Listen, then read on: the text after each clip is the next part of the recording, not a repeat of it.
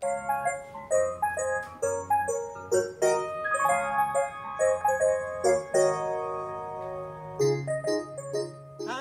Good day mga kaestro, mga bata.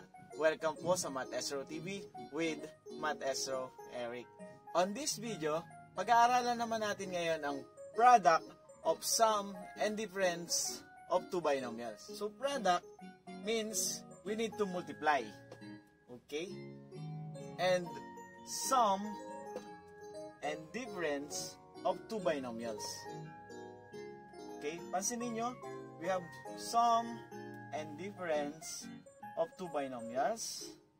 Sum and difference of two binomials. In number 1, we have a plus b times a minus b. Number 2, 2m plus 3n times 2m minus 3n. And number 3, we have 5x squared plus 7 times 5x squared minus 7. So, pwede rin sila magkabaliktad. Interchange. Pwede rin 5x squared minus 7 times 5x squared plus 7.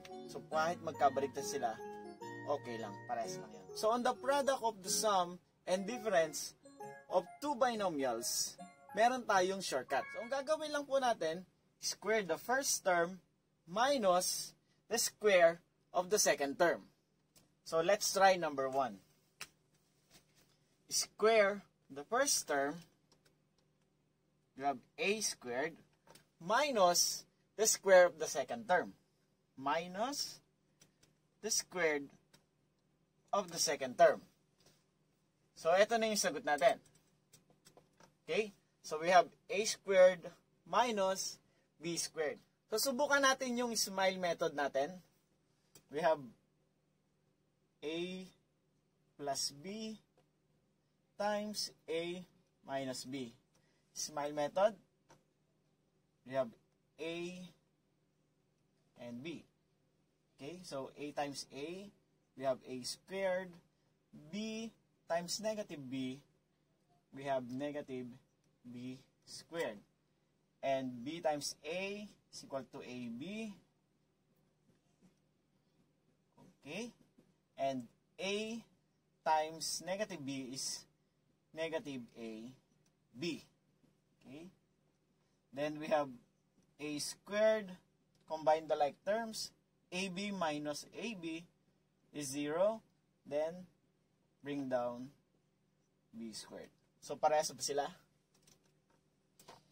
Parehas sila. So, meron tayong shortcut, square the first term minus the square of the second term.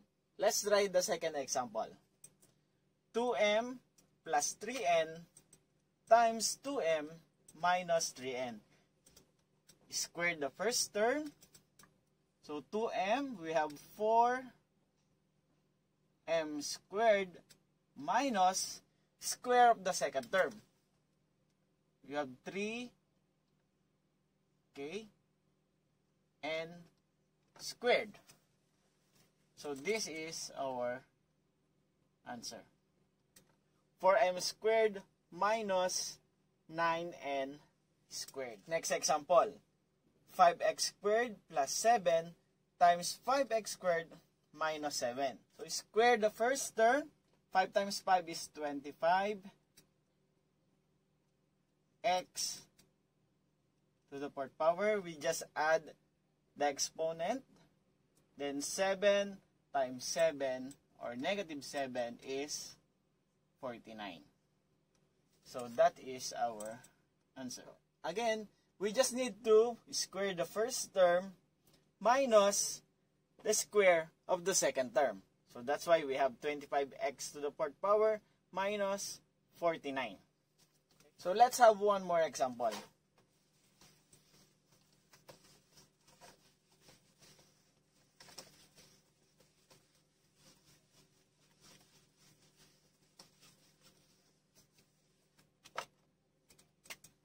So we have 1 half C plus 3 fifth D times 1 half C minus 3 fifth D.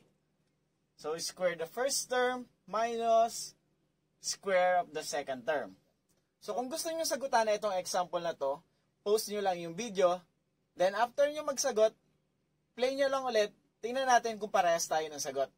Okay? So, sagutan na natin. Square the first term. So, we have 1 half C. So, 1 times 1 is 1. 2 times 2 is 4. And C squared. Minus 3 times 3 is 9. And 5 times 5 is 25. Okay. And D squared. So, this is our answer. So, parehas ba tayo ng sagot? Okay, very good. So, ganun lang kadali yung product of sum and difference of two binomials. So, all we need to do is the square of the first term minus the square of the second term. Gusto niyo pa ba ng another example para ma-master natin yung lesson natin? Pasyal lang kayo sa playlist ng Math Estro TV para makita nyo ang iba pa nating activities doon. Thank you for watching. Have a good day. Bye!